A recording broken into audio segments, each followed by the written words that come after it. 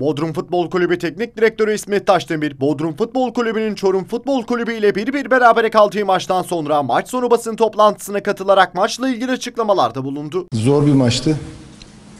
İki tane bence denk takım. Ee, bu lige bu sene e, renk katmış iki takım. İyi de bir mücadele oldu. Hmm, Özellikle kırmızı karta kadar.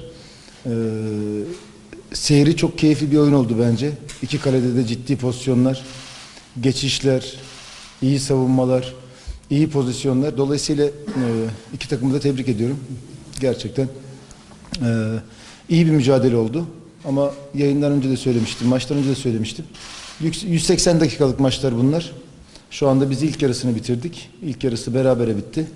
İkinci yarısını ben de bekliyorum merakla. Çünkü e, hakikaten e, çok ciddi iki rakibin, e, çok iyi futbol oynayan iki takımın müsabakası.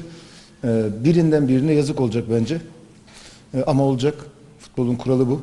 E, dolayısıyla da bir 90 dakikamız kaldı. E, inşallah orada da e, elimizden geleni yapıp 4 gün bir süre var. Orada da iyi hazırlanıp e, turu geçip finale de kalmak istiyoruz. Ama aynı şekilde e, bizim kadar isteyen, bizim kadar da iyi olan bir takımla karşılaşacağız. İşimiz hiç zor, kolay değil. E, zoru başarmaya çalışacağız. Burada çok güzel günlerim geçti. E, tam bir seneyi dolduramasam da e, özellikle pandemi döneminde e, burada güzel işler yapmıştık kendimizce ama sonunu getirememiştik. E, dolayısıyla burada da e, her zaman buradan gittiğimden beri e, kalbimin bir tarafı burada diyebilirim. E, burada çok güzel dostluklarım var. Halen görüştüğüm, halen devam eden. E, dolayısıyla burada ben hiç kötü bir şey yaşamadım. E, tabii ki bugün geldik, rakibiz. Bunlar e, sporun doğasında, futbolun doğasında olan şeyler. E, ama ben burada başarılı olamama rağmen, yani sonunu getiremememe rağmen çok güzel günler yaşamıştım. E, orayı da hiçbir zaman unutamam. Burayı da unutamam.